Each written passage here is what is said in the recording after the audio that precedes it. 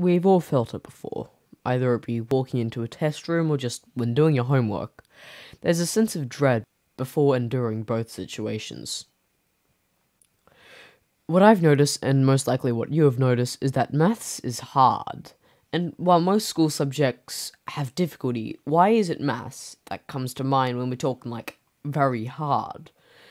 And while this is a very broad thing to say and has many different reasons, I've found three reasons why people struggle with maths, and hopefully, after watching this, you'll be able to approach a problem from a way which makes sense and relieves that sense of anxiety.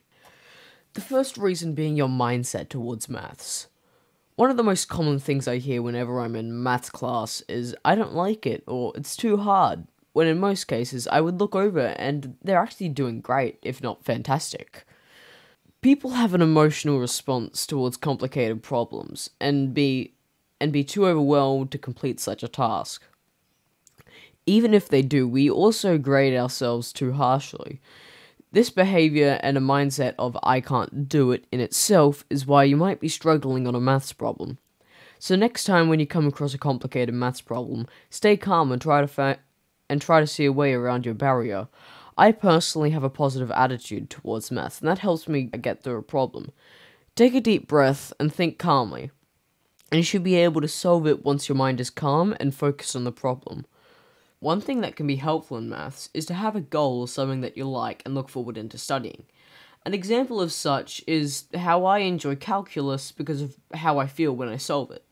So I try to do that in my spare time, or just think about it when I'm not enjoying what I'm doing.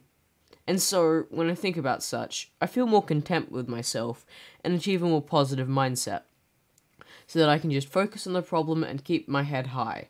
With this, try to find something that you enjoy about maths. Doesn't have to be anything fancy, just something that you like about maths. Another significant reason about the difficulty of maths comes from other people. By this, I mean if you have support of friends or teachers, then you're more likely to succeed at maths. The reason why this is, is because humans are creatures of acceptance. We look around everywhere for acceptance, and when we find that, we feel happy. For myself, I have a few teachers that whenever I find something new in maths, no matter if it's original or not, they give me feedback and tell me how I could improve it. This helps me grow in maths by them helping me. We thrive in self confidence, which is a great thing. Embrace that. Find math friends that you can talk to and nerd out, as the cool kids are saying. For this last point, it seems counterintuitive to the actual thing that I'm writing about, but just hear me out.